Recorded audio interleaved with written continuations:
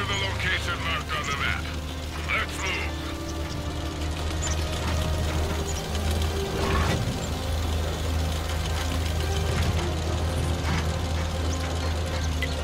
Focus on this location.